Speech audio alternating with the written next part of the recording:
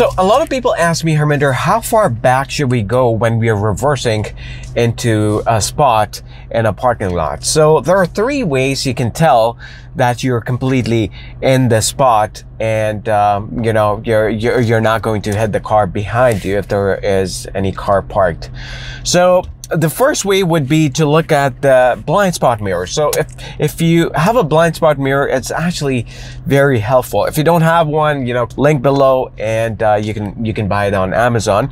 So this is the way you check it in the blind spot. You know, you see the, there is a very little distance between the, the curb and the, and the tire.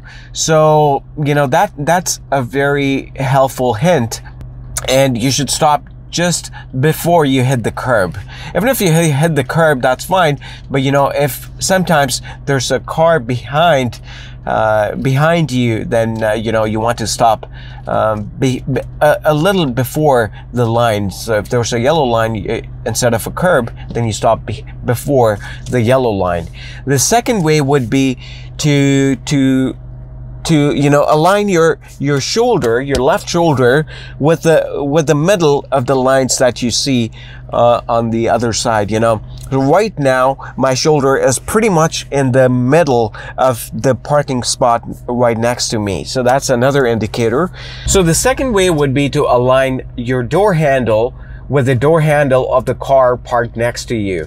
More or less, you know, sometimes the car parked next to you may not be completely in the spot. If it is completely in the spot, and if you align your door handle with their door handle, that is also um, a good way to know that your your car is inside the spot.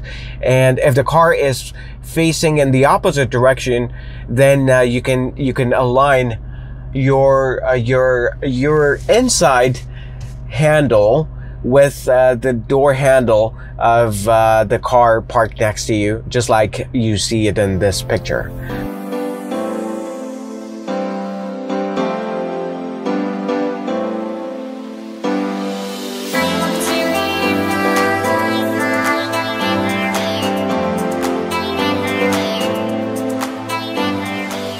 So that's the way it is. It's very simple, very straightforward.